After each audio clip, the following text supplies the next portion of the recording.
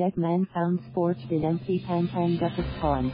Video X San Fernando The body of a still unidentified man was found burning at an empty fish pond in a remote village of Mabalacat City on Monday morning, April 22.